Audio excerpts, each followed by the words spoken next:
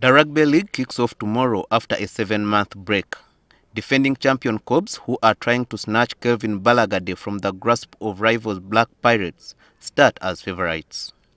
After opening their campaign with a 1pm kickoff against Impis at Legends tomorrow, the Blue Army will host eternal rivals Heathens on game week 2. Uh, we've had uh, guys doing pre-season uh, with the club and individually, so I believe our players uh, have been putting in the work and this season they, they deserve to showcase their efforts. So I believe in the players and they have done great this preseason. So we are properly prepared mentally and physically.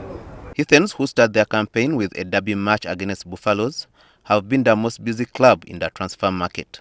The Yellow Machine has snapped up players like Joaquim Kisano, Akira Komakech, UCU Romano, and Watum Thairas in the off-season. Buffaloes, however, say they are not fazed by the recruitments.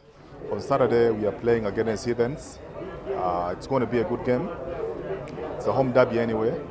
Since we know each other, it'll be good, and the best team will win. And uh, going forward, uh, pertaining the league, starting with the big boys, uh, it's not a bad way for us. It's a good one. The other standout fixture on game week one we see Pirates entertain a rejuvenated Hippos side at the Kings Park Arena.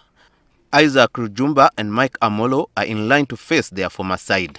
The team is uh, prepared physically well. Um, we have had a very good uh, pre-season training and um, we believe that um, the boys are set for the challenge and um, we hope for we hope for best results this season and we hope to improve with what we, we had we had last season. In other fixtures, Rams entertain Mongers at the graveyard in Makere. Elsewhere, Rhinos will lock horns with Warriors during the 3 p.m. kickoff at Legends. Collins Mwez, NTV.